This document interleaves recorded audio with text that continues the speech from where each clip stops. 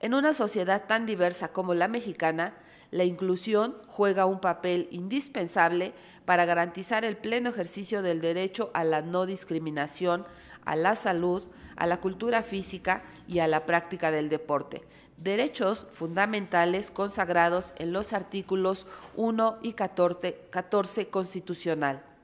Por ende, atendiendo al mismo mandato constitucional, es que corresponde al Estado su promoción, fomento y estímulo. Es indispensable que las propias instituciones tengan una postura específica en cuanto al tema de la inclusión. Y por ello, en casos como el que se comenta, estimamos que es indispensable que la CONADE realice una búsqueda de la expresión documental que dé cuenta de lo solicitado, con la finalidad de que la sociedad conozca si el sujeto obligado cuenta con la información requerida o en su caso que no ha considerado dicho tema dentro de sus programas, ya que es a través de la transparencia de sus actividades que la sociedad puede conocer el grado de cumplimiento. La práctica de actividades deportivas tiene diversos beneficios sin importar la edad a nivel corporal. Puede mejorar la salud y prevenir enfermedades